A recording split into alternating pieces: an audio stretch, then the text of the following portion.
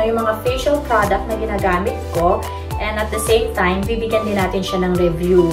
Um, dati kasi yung mukha ko marami siyang dark spot kasi mahilig akong gumala during summertime and sometimes nalilimutan kong maglagay ng sunblock.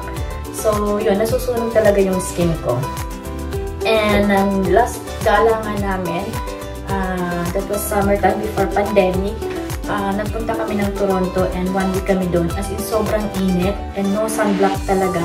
Kaya yun, pag uwi namin dito, as in, nasunog talaga yung balat ko. So, napansin ko talaga, uh, may mga dark spot talaga. May mga dark spot talaga dyan. So, nagtry ako ng ibang beauty products. Uh, kaya lang yung mga nauna kong tinry, parang siguro hiyangan din. Parang hindi siya umiyang sa akin kasi hindi siya effective hindi, hindi nawala yung mga dark spots sa mukha ko. And worst, nag-dry pa. Nag-dry pa yung skin ko dun sa mga nauna kong ginamit. Until my friend recommended this product. So, I try it. And guys, weeks ko pa lang siya ginagamit. And nakita ko na kaagad yung result. So, ito yung sabon na ginagamit ko. The Bleaching Soap Advanced maganda siya guys and ang tagal-tagal niyang maubos. Ang tagal-tagal kong ginagamit ng isang bar. Siguro natagal siya ng ilang months. And uh, maganda siya kasi as in nakakalighten talaga siya ng skin. Tapos kapag first time mo siyang ginamit, lalo kapag matagal mo siyang binabad sa katawan, as in pag binanlawan mo siya, as in nagpipil talaga siya yung, hindi siya libag, as in yung dubi talaga ng skin mo. And then na, nakakaputi, nakakaputi talaga siya. Ayan, very effective. And, pero ito, minsan ko lang siya ginagamit sa katawan. Mostly sa mukha ko lang talaga siya ginagamit. And maganda, maganda siyang sabon. And another product is the Radiance Facial Foamer. Ito yung madalas kong ginagamit uh, bago ako matulog. Naghihilamos ako. And ito yung ginagamit ko. And sobrang effective din niya. And ang sarap-sarap niyang gamitin. Kasi As in, after mo siya gamitin, parang feeling mo ang, ang, ang linis-linis talaga ng mukha mo. Tapos, ang sarap-sarap ng pakiramdam. And, ang ganda ng result. Nakakalighten talaga siya ng skin. And, ang lakas maka-glass skin talaga. So, mamaya ita-try natin. So, para makita din ninyo. And, the next product is the Radiance Facial Serum. Ito. Ito naman, ginagamit ko siya before ako matulog din. So, nilalagay ko siya sa mukha ko And then, saka ko siya niro-roller. And maganda din siya sa skin. Yeah. Nakaka, ano din siya, nakakabata. And, um, ito, bleaching scrub. Itong bleaching scrub naman sa, sa katawan ko siya ginagamit. Ito. Sa katawan ko rin siya ginagamit and maganda rin siya. As in, nakaka-lighten din talaga siya ng skin. And yung skin mo talaga, after mo siya magamitan nito, parang ang lambot-lambot ng skin. Ang, parang biglang wow. Oo, maganda siya. And, ito yung ginagamit kong mga mask. Ito. Ito, ginagamit ko siya kasi, di ba, lagi nga akong puyat. So, para mabawasan yung pagkaitim ng mata ko dito sa baba. Ito yung ginagamit ko. Ayan, maganda naman siya. Um, pag ginagamit ko talaga siya, medyo nababawasan niya yung itim. So, ito madalas kong ginagawa. Tsaka gusto, gusto ko yung amoy niya. Amoy coffee.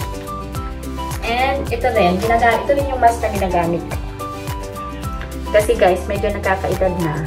So, kailangan yung wrinkles natin medyo mabawasan. So, ayan. Ito yung ginagamit kong mask para ma-reduce yung ating mga wrinkles. Kasi patanda na tayo, hindi na tayo pabata. So, ngayon guys, ipapakita ko sa inyo, gagamitin ko yung mga product na pinakita, na, pinakita ko sa inyo para makita din naman ninyo yung resulta. Uh, magaganda siya guys. Uh, actually, marami akong mga nasubukan na beauty products, pero ito talagang mga products na ito, ito talaga yung pinaka nagustuhan ko. At kasi, as in, kitang-kita ko talaga yung, yung resulta. Kitang-kita ko talagang effective siya. Kaya, hindi sayang yung ibabayad mo. Um, sa price, PM set. uh, hindi ko kasi alam kung pwede ako mag-disclose ng ng mga price ng product eh. Pero kung gusto niyo malaman, pwede niyo naman akong i-PM. And then, sasabihin ko sa inyo. so, ito. Ang gamitan, um, ihilamos tayo.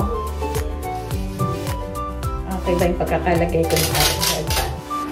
So, there you go. So, kukunin ko kasi may open akong sabon dito. Gagamitin natin. So, ayan, ito. Ginagamit ko siya. Bago pa kasi ito eh. Kaya ito na lang walang gamitin natin. So, maghihilamos ako para makita niyo yung result. So, ayan ko siya para hindi siya mabasa.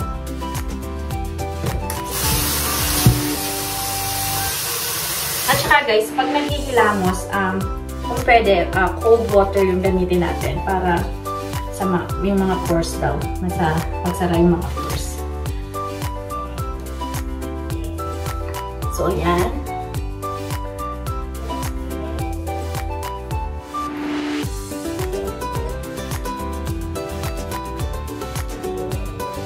Mas maganda siya kung ibababad niyo siya for a couple of minutes. Mas effective siya.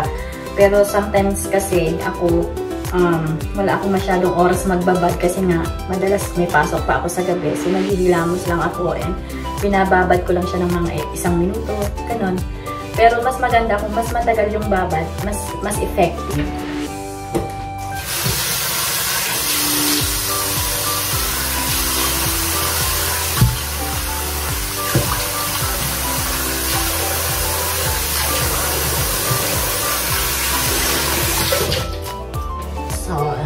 Yan na guys. Tapos na ako manghilamos. Maganda siya kasi talagang ano, hindi siya nakaka-dry ng skin talaga. Kasi hindi talaga ibang sabon na ginagamit ko before, yung mga nasubukan ko. Kasi ramdam ko talaga, parang nagbabanat ba na talaga yung balat ko. Kasi as in, nada-dry talaga siya. So, yan na guys, ang itsura pag nakapanghilamos. Uh, may nagbago ba? May nagbago ba? Kasi dati, ayan o, may mga maliliit pa siya na dark spot. Pero dati, asing malaki talaga to. Ito, hindi talaga to matatanggal kasi since birth na yan. Ayan o, may mga naiiwan. Pero dati, malapat to as in bilog siya dito. And uh, mula nung gamitin ko siya, ayan na lang siya. Maliit na lang siya. Pero dati, para talaga siya gapiso dito o. Ayan mga nabawas-bawasan na rin. And then, Ayan, ito try natin itong kanilang foamer.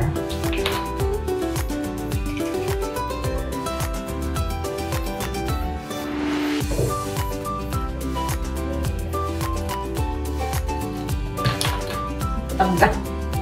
Maluwag kasi ginamit ko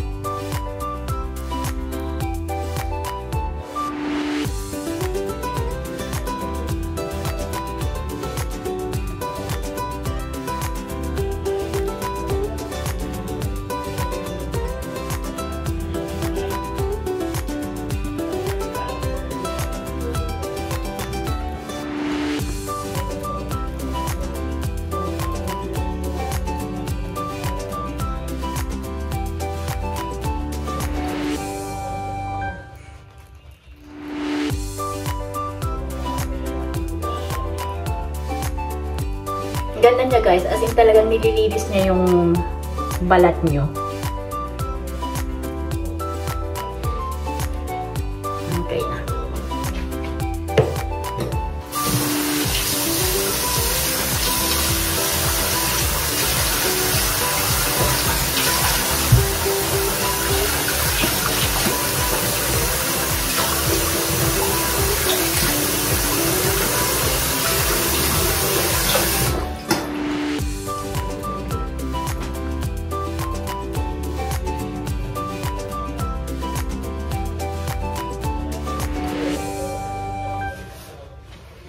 Siya guys, after nyo gamitin. ba? Diba? Nakaka-lighten talaga siya. So, ilang buwan ko pa lang naman siya ginagamit. Siguro mas maganda kung pagpawat kung matagal-tagal ko na siyang ginagamit. Pero, di ba, ilang buwan pa nga lang siya effective na. So, what more kung matagal mo na talaga siyang ginagamit. Di ba?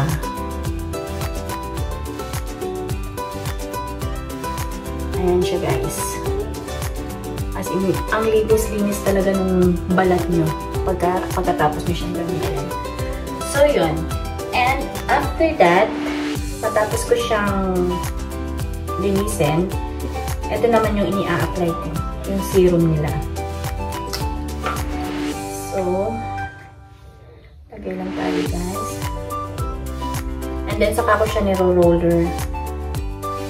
Yung roller ko kasi nilalagay ko muna siya sa fridge para lumamig kasi mas ma mas maganda siyang gamitin pag malamig siya. So, nilalagay ko siya muna sa fridge for a couple of minutes bago ko siya gamitin.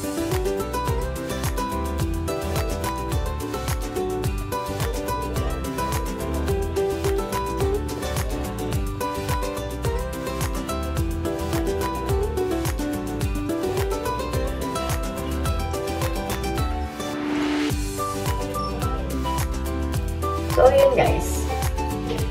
Pero-roller ko na lang siya mamaya bago ako matulog. So, pinakita ko lang sa inyo kung paano ko siya ilagay. So, yun. Ayun yung mga ginagamit ko. And, may nabago ba?